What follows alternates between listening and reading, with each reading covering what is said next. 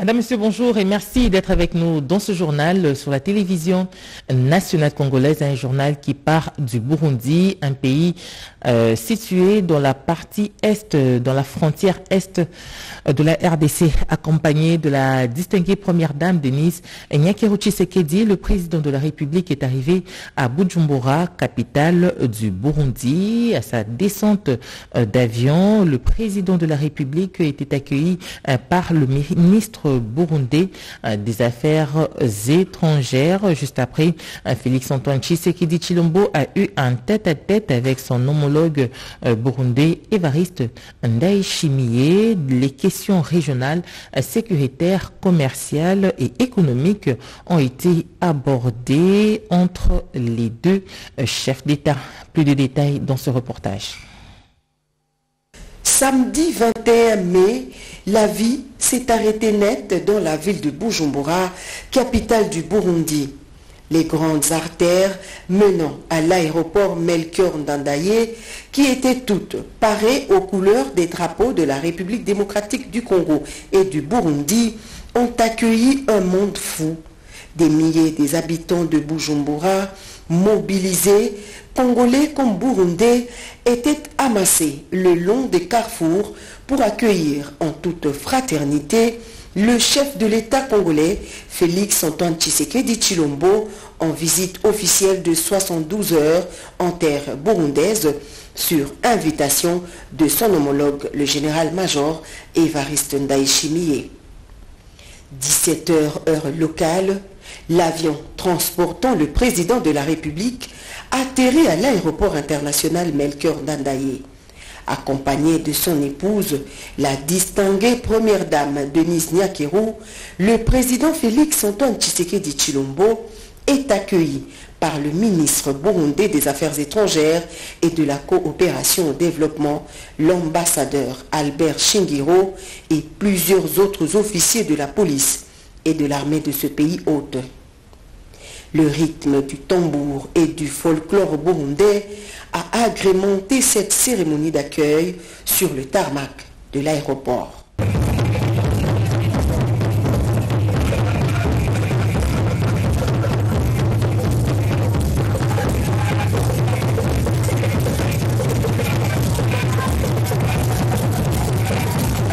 Et pendant quelques minutes, le président Félix Antoine Tshisekedi Chilombo a eu un bref entretien avec le ministre Albert Shingiro au salon d'honneur de l'aéroport.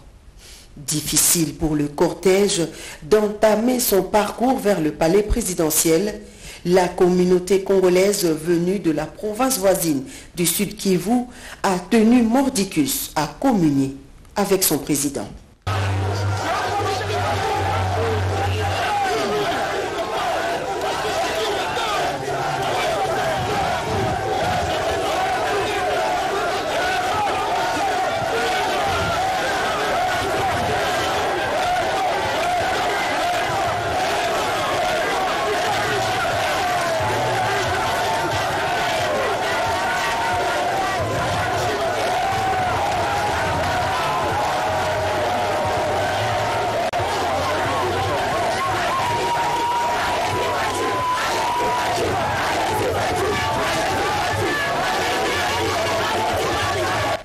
Au palais présidentiel Ntare House que le chef de l'État congolais a été accueilli par son homologue Évariste Ndaïchimiye par des chaudes accolades qui en disent long sur l'excellence des relations de fraternité qui caractérisent les deux pays partageant une frontière longue de quelques 256 km.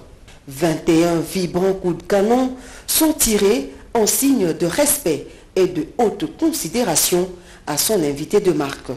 Comme c'est de coutume ici au passage d'un invité de marque, deux manguiers sont plantés par les deux chefs d'État, un rituel symbolisant le rapprochement des deux nations sœurs. Il s'en est suivi un tête-à-tête à huis clos de près d'une heure entre Félix Tshisekedi Chilombo et Évariste Ndaïchimiye, à l'issue duquel le président congolais s'est adressé à la presse avant de dévoiler l'agenda de ces trois jours en terre burundaise, Le chef de l'État Félix Antoine Tshisekedi Chilombo a remercié son homologue pour l'invitation, mais surtout pour la chaleur humaine dont a fait montre la population hospitalière de Bouja. Je suis euh, animé d'une grande joie aujourd'hui euh, de fouler pour la deuxième fois euh, le sol de ce pays.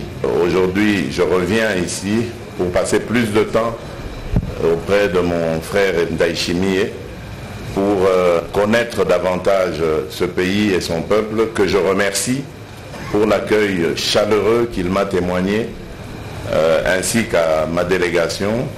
Je viens ici pour discuter de, grandes choses qui vont dans le sens des intérêts de nos deux pays, de nos deux peuples, qui doivent davantage se rapprocher et qui doivent développer des projets communs.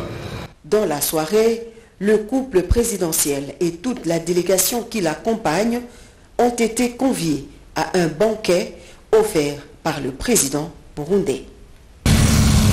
La RDC et le Burundi vont désormais partager un certain nombre de projets d'intérêt euh, commun dans la ville de Gitega. Le chef de l'État a visité l'Institut des sciences agronomiques et zootechniques et puis il a également visité la ferme de Boutegana qui occupe une capacité euh, de 5 hectares. La visite de 72 heures du chef de l'État au Burundi s'est clôturée par le dépôt euh, d'une gerbe de fleurs euh, au mausolée du 9e président de ce pays. Reportage.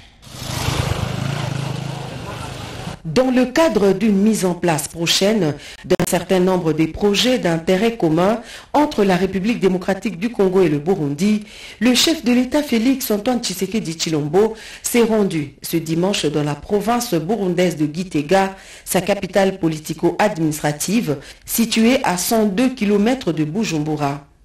Un long parcours de plus de deux heures par route au milieu des collines et escarpements à son arrivée à Gitega, le président de la République et son épouse se sont tout d'abord rendus au mausolée de feu Pierre Nkurunziza, neuvième président du Burundi, décédé le 8 juin 2020.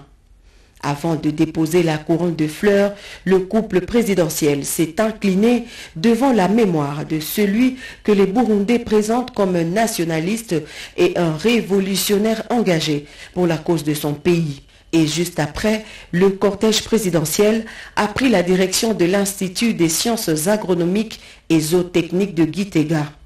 L'IRAS est une institution spécialisée de la communauté des pays des Grands Lacs, comprenant trois pays, à savoir la République démocratique du Congo, le Burundi et le Rwanda.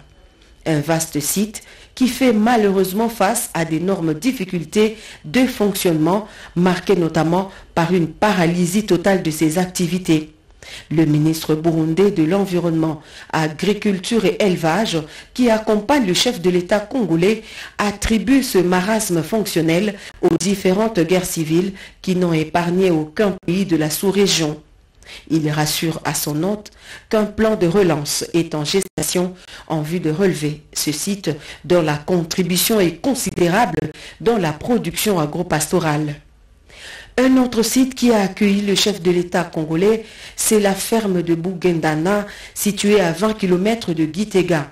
Ici se fait l'élevage des vaches laitières et se développe également un important projet agricole sur une étendue de 5 hectares. La particularité qui se trouve ici, c'est cet randon que le gouvernement Kenya a donné à, notre gouvernement. Donc on nous a donné une cinquantaine de génisses. Oui, aujourd'hui nous avons, euh, les 50 sont ici, mais nous avons déjà encore 18 euh, veaux qui sont nés ici. oui, comme vous le voyez, ce sont des bons bovins. Il y, a, un docteur vétérinaire qui est ici, il y a un technicien vétérinaire qui est ici, il y a un ingénieur zootechnique chargé de l'alimentation de ces bovins.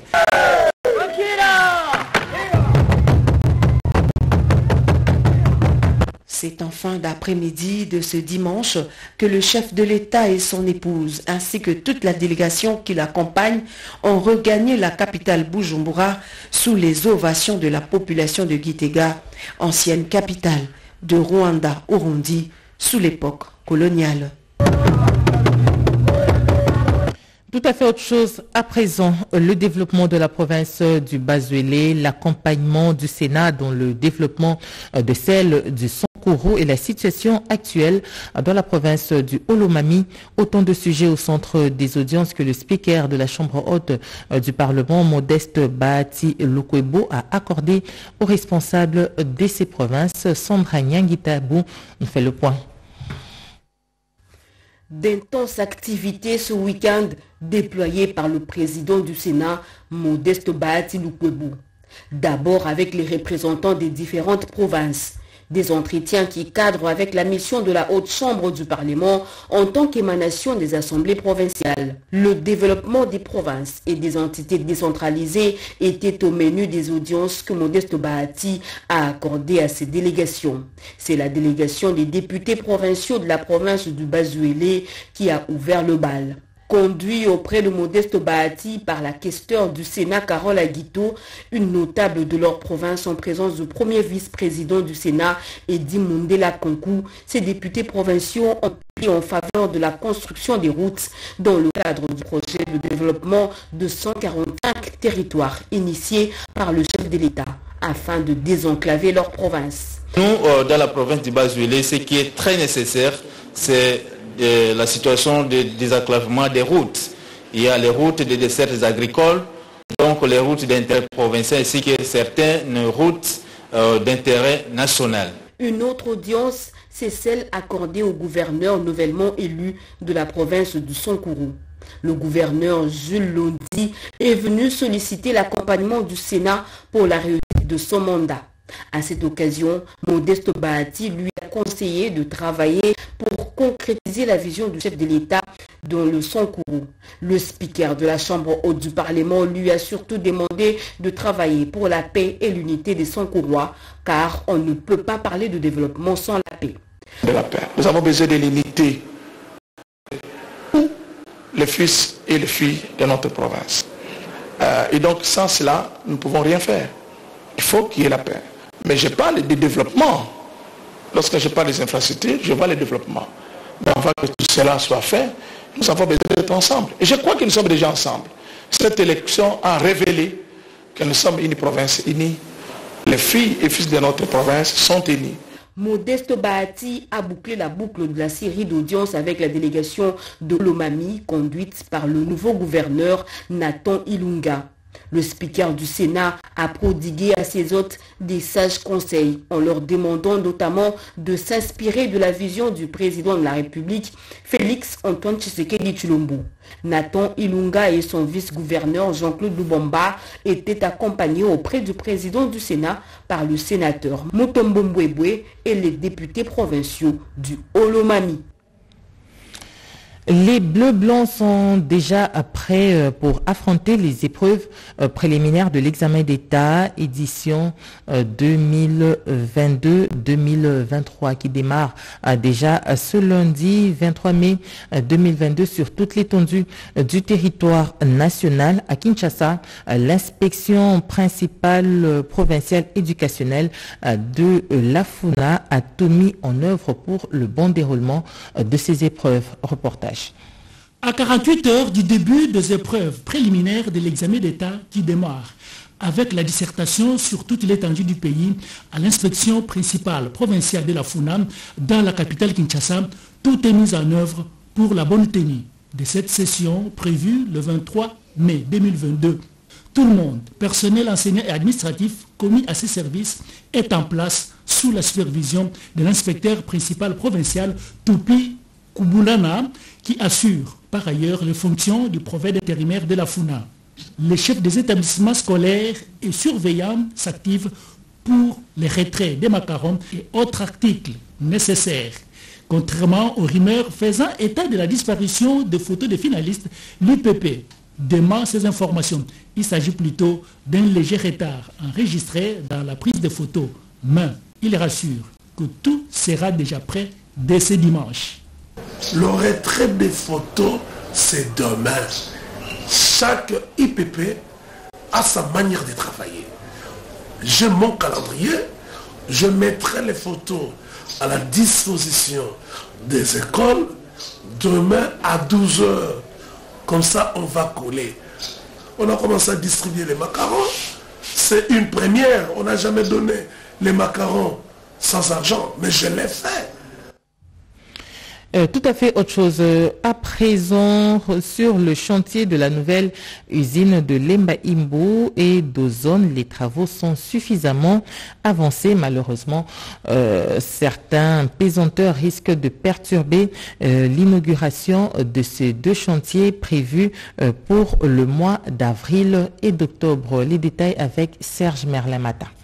Finition, si ces chantiers dont les travaux sont exécutés par l'entreprise Hyundai. La délégation de la présidence de la République, avec à sa tête les coordonnateurs, la cellule présidentielle des ressources extérieures et du suivi des projets Diodombi, Kabongo, s'en est rendu compte lors de son passage sur les sites. Il voulait s'assurer de la réalisation. quand je vois surtout euh, la dimension de la réalisation ici, finalement ça me, rend toute la fierté d'être congolais. Je suis très impressionné. Il a bouclé sa tournée au complexe industriel de traitement d'eau potable de l'ozone. Ici, les travaux ont suffisamment avancé. Seulement voilà l'inauguration de cette nouvelle usine de l'ozone risque d'être perturbée en raison de certains pesanteurs. On l'a dit, l'Embaïmbo, c'est début août, on peut inaugurer. Et ici à l'ozone, c'est au mois d'octobre. Le président peut venir et inaugurer. Les petits couacs dont vous parlez, je crois que ça va être résolu. Parce que c'est simplement un problème de coordination, encore une fois, entre les différents services de l'État. Et donc, on va s'y mettre pour les dédouanements, il faut exonérer. Les projets, tous les deux projets sont exonérés. Donc, il n'y a qu'à regarder les papiers que nous on introduit et à travailler vite pour nous fournir ces matériels-là. La finalisation de ces travaux ne peuvent être perçus que comme une aubaine pour les populations de ces coins de la capitale. La Société nationale d'électricité SNEL SA a procédé excusez-moi, à la distribution et à l'installation des compteurs euh, prépayés dans certains euh, quartiers de la capitale. Euh, cette fois-ci, le quartier Beauvon, dans la commune de Lingwala, vient de bénéficier de ces compteurs. On en parle avec Yvette Makouti. Le fonctionnement à grande échelle dans la capitale de ces systèmes aura pour bénéfice de placer chaque ménage quinois devant ses responsabilités pour une consommation rationnelle de l'énergie électrique. Chacun obligé de payer ce qu'on aurait consommé et consommer ce qu'on aurait payé. C'est en cela que repose l'intérêt des compteurs après paiement que la Société nationale d'électricité, SNEL-SA, a initié depuis quelque temps dans un certain nombre de communes et quartiers de Kinshasa. Mais pour éviter les spectacles des contestations, la SNEL-SA a choisi de procéder d'abord par l'assainissement du réseau, à l'exemple du quartier Beauvon, commune de Lingwala, vendredi 20 mai 2022 que l'assainissement, euh, c'est considéré dans le cadre de ce projet comme préalable au placement de compteurs euh, après paiement. Parce que nous voulons améliorer la qualité de la desserte, pas le remplacement euh, de, de canalisations qui étaient en très mauvais état par ceux en très bon état bien avant la task force de la SNEL SA en charge des placements des compteurs après paiement a échangé avec les responsables de la société Egen, partenaire de ces vastes projets. Puis s'en est suivi la visite des stocks dans l'entrepôt où sont stockés ces compteurs, câbles et autres accessoires prévus. Le point de départ de la campagne de placement des compteurs après paiement dans la commune de Lingwala a été le quartier Beauvon. Les restes des quartiers seront servis très prochainement ainsi qu'une partie de la commune de Kinshasa. Les trois journées portes ouvertes organisées par l'Institut national des musées nationaux du Congo se sont clôturées euh, le dimanche 22 euh, mai 2022 et ceci euh, dans le cadre de la célébration de la journée internationale des musées placée sous le thème le pouvoir des musées en RDC. Reportage de masques anciens de différentes tribus de Lens ainsi que les objets archéologiques classés et conservés au musée national ont attiré la curiosité de plus d'un pour comprendre la jeunesse de la République démocratique du Congo depuis l'époque coloniale jusqu'à nos jours. C'est dimanche 22 mai 2022, dernière journée pour la clôture de la fête muséale organisée par l'Institut national de musées nationaux du Congo sous le thème Le pouvoir des musées en RDC. À travers ces journées portes ouvertes, les organisateurs ont voulu expliquer au public l'importance du patrimoine national, l'un des biens fondés pour la promotion de la culture en RDC. Le musée est un professeur ou un enseignant qui ne parle pas, mais qui enseigne très bien dans les contextes de ce qu'il contient. Le musée reste un pouvoir, un lieu récréatif un endroit de découverte de talent, le cas de cet artiste qui se transforme à une œuvre d'art vivante à travers sa performance. Le maître de la cérémonie trace ici le bilan de la clôture de ces festivités culturelles. Nos objectifs ont été atteints. Nous avons souhaité que pendant cette période des journées internationales de musique, que le public congolais soit sensibilisé sur l'importance des musées dans notre société et là, euh, nous pouvons vraiment dire qu'il y a un engouement euh, des personnes qui viennent visiter le musée. Nous voulons euh, remercier tous ceux qui nous ont aidés à réaliser ces journées. Nous pensons d'abord à Madame la ministre de la Culture, Art et Patrimoine, qui nous a soutenus de bout en bout. Madame Catherine Katungu a été vraiment de notre côté. Et aussi tout le peuple congolais et qui a compris maintenant que son patrimoine doit être valorisé que par lui-même. Son vœu est également de voir ces genres d'activités s'étendre dans d'autres provinces pour réserver une place de choix au musée en République de et puis cette question qui consiste à savoir comment préparer et réussir son retour, ainsi que son investissement en République démocratique du Congo, eh bien, la question a fait l'objet du plaidoyer du réseau Makutano sur la mobilisation de la diaspora congolaise à venir investir au pays un atelier d'échange a réuni le samedi 21 mai 2022 à Bruxelles les experts de différents secteurs d'investissement. Nicole Cesseploca, reportage. Sur quel modèle et dans quel secteur les Congolais de la diaspora peuvent-ils contribuer au développement de la République démocratique du Congo? Voilà qui justifie la troisième édition de Level tenue à Bruxelles par les réseaux Makutano sous l'impulsion de Madame Nicole Soulou. Plus de 250 participants venus de toute l'Europe et de l'Afrique ont assisté à des ateliers sur des différentes thématiques telles que la création d'entreprises en RDC, le financement des projets, le numérique, la santé et tant d'autres. Ce lien humain fort que représente la diaspora congolaise en Belgique. Elle matérialise cet enrichissement mutuel entre les deux pays. Les organisateurs de cette journée, Level Up, l'ont bien compris. Je salue leur initiative. Dans notre coopération avec la RDC, notre objectif est d'encourager et de soutenir toute initiative qui s'engage pour l'amélioration des conditions socio-économiques de la population. Les investissements économiques sont essentiels pour le développement durable du pays.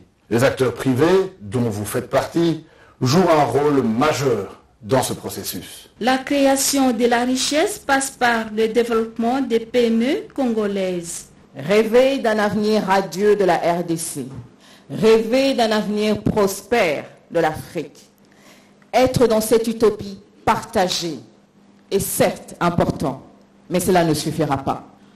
Car il nous faut toutes les forces vives disponibles toutes les énergies sont nécessaires, mais sur le terrain, pour concrétiser nos rêves de ce Congo et de ce continent.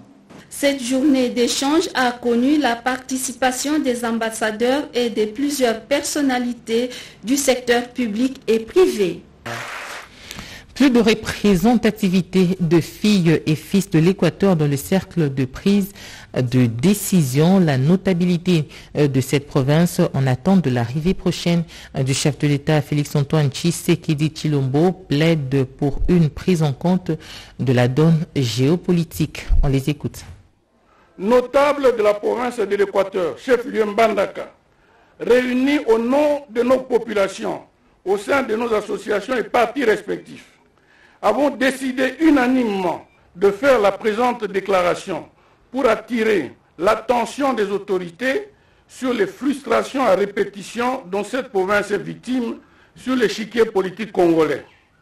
De prime abord, nous saluons les initiatives prises par le gouvernement et notamment la dernière visite effectuée par le chef du gouvernement dans notre province à Bokoté, dans le territoire de Bolomba, pour honorer la vaillance et l'intégrité spirituelle d'un de nos ressortissants en la personne d'Isidore Bakanja. Dans le même ordre d'idées, nous saluons la venue prochaine en Bandaka du chef de l'État à qui nous présentons nos hommages les plus déférents. À l'heure actuelle, malgré la présence au sein du Parlement de ses représentants, députés et sénateurs, notre province est victime d'une interprétation confuse de l'équilibre géopolitique qui fait qu'aujourd'hui, aucun de ses ressortissants n'occupe un fauteuil confortable ni au sein du gouvernement, ni au sein des établissements et entreprises publiques. Depuis les élections de 2018, notre représentation au sein des institutions est pratiquement inexistante. Nous recourons à la clairvoyance particulière du chef de l'État, garant du bon fonctionnement des institutions, pour qu'il puisse corriger les injustices constatées en attribuant à quelques dignes fils et filles, et il y en a, je l'affirme, de grands postes de responsabilité dans le cadre d'une nouvelle mise en place. L'objectif est clairement affiché, assurer la couverture nationale et figurer parmi les partis de masse. L'Union fait la force, cette euh, formation politique issue euh, du regroupement politique AFTCA et de l'Union sacrée a enregistré une adhésion massive des nouveaux membres. Cédric Kinambo reportage. Sans nul doute, l'Union fait la force s'agrandit, prend de l'espace et s'affirme au quotidien. Une santé politique attestée par ces nombres impressionnants d'adhésions volontaires. Cette cérémonie qui a pris une toute autre dimension après la remise du statut du parti au secrétaire général par l'autorité morale Constantin Benguele Tamouk a permis à ces derniers de réitérer son soutien au chef de l'État Félix Antoine Tshisekedi. Vous avez et vous venez de démontrer une fois de plus que votre cher parti Union fait la force, IFF, est un grand parti national. En tant que parti politique, nous sommes membres de l'Union sacrée. Pour piloter, pour soutenir la grande vision du chef de l'État, le président de la République, Félix Antoine Tshisekedi. La vision de faire de ce pays, le Congo, un pays prospère. Un pays où nous vivons en tant que frères et sœurs un pays où nous bannissons les antivaleurs telles que la corruption, le tribalisme et autres. Un pays qui est appelé havre de paix. Avec ses vagues incessantes, l'UFF avance à pas des géants et accomplit chaque jour qui passe sa vocation. Des partis des masses.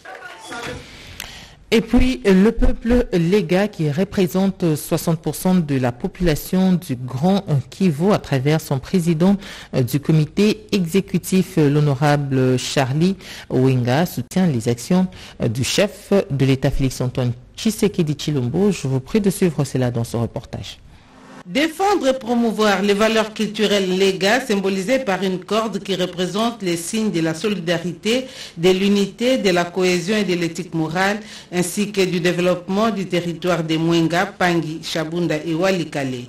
Tel est le leitmotiv de la communauté Lusu du peuple Lega, un peuple qui représente 60% de la population du Nord Kivu, du Sud Kivu et du Maniema. Le nouveau président du comité exécutif de la communauté Lega, l'honorable Wenga, investi par son prédécesseur Benjamin Mukulungu, devant le chef coutumier le Mwami Lega et quelques notables, a promis de relever ces défis. La société Lega est fondée sur l'éthique morale, l'exemplarité. Il est rare de trouver chez les Lega les gens qui peuvent injurer facilement, qui volent, qui peuvent commettre des crimes. Le crime n'est pas dans notre ADN, ça n'existe pas. L'espace géographique Lega, qui regorge d'importants gisements miniers, est une opportunité d'investissement et aussi un atout majeur pour le soutien des actions du chef de l'État, Félix Antoine Tshisekedi Chulombo, qui vise le développement du pays. Le projet 145 territoires en est une illustration. Il a saisi l'opportunité pour réaffirmer au nom de tous les peuples légats le soutien de la communauté Loussou générale du peuple légat au chef de l'État. Auparavant, le comité des sages a été également investi, suivi de l'animation du groupe folklorique Léga et des devinettes Léga par l'interprétation de la symbolique de la corde de la culture Léga. Et pour terminer, sachez que la saison sportive en milieu universitaire congolais a démarré le dimanche à l'IEC Gombe. Le coup d'envoi a été donné par le représentant du ministre de l'Enseignement supérieur et universitaire. Suivez cela dans ce commentaire de Médard Mbouyan Mangala. Les universités et instituts supérieurs demeurent des hauts lieux d'encadrement de la jeunesse congolaise. Des milieux de jeunes fréquentant l'université représentent une force imposante pour la pratique des sports en République démocratique du Congo. La relance de la saison sportive s'inscrit dans cette logique. À Kinshasa, toutes ces grandes écoles se sont fixées rendez-vous à l'IEC, Institut supérieur de commerce. Cette institution universitaire occupe une position géographique de grande visibilité dans la commune de la Gombe. C'est un vrai, un réel plaisir de vous recevoir ici, chez vous, à l'Institut supérieur des commerces, grande école des commerces. Vous me permettrez à cette occasion de dire un grand merci au chef de l'État, son Excellence Félix-Antoine Tshisekedi, grand chancelier des universités. À son Excellence, Monsieur le Premier ministre et à notre ministre de l'Enseignement supérieur, son Excellence Moïndo Zaghi, pour le choix qui a été porté à notre établissement afin d'accueillir cette grande marche qui intervient dans le cadre du lancement de la saison sportive universitaire au plan national. Toutes les disciplines sportives sont pratiquées en milieu universitaire par des étudiants. Le pays a toutes les raisons de placer son espoir dans la jeunesse pour la relance du sport. C'en est fini pour ce journal de la matinale, un journal réalisé par Patrick Bapuila, Papi avec le soutien technique de Yannick Yangumba et grâce Kingambo, Jacques Kabwaba a assuré sa coordination. L'actualité continue sur nos antennes en français, en swahili, en Kinkongo, en lingala et en chiluba. Retrouvez à 13h30 Bobo Anan Mokondi. Au revoir.